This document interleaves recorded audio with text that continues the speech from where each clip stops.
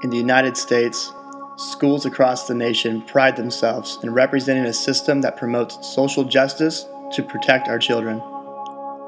To me, social justice stands for the representation of any and all cultures that our students come to love and identify with. For the 13 million children in our country that find their creativity through adhering to skate culture, this push for social justice has yet to reach them in that they will find no representation within their schooling institutions.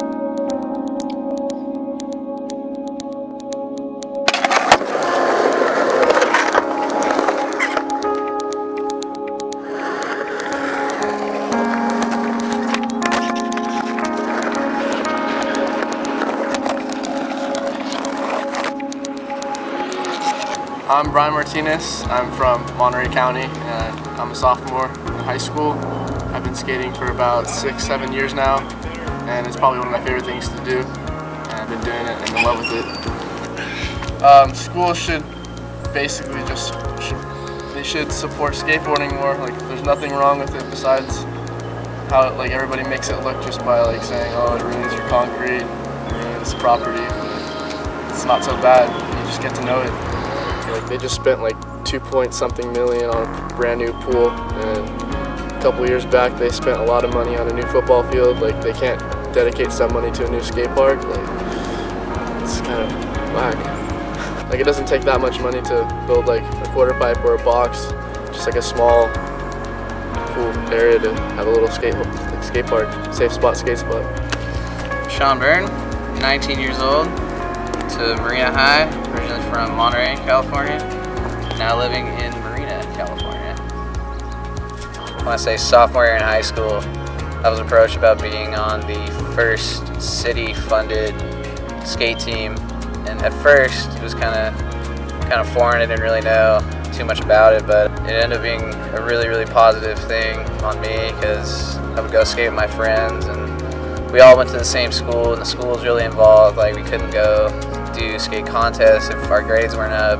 You had to be a, a role model for the younger kids and keep your grades up. And Perry Doig was basically basically like an older brother to me. That dude was one of my biggest mentors and pretty much everyone's mentor because I was quite the handful as a young teen and uh, kind of kept me in check and you know, it was also fun just skating with him and having those positive outlets.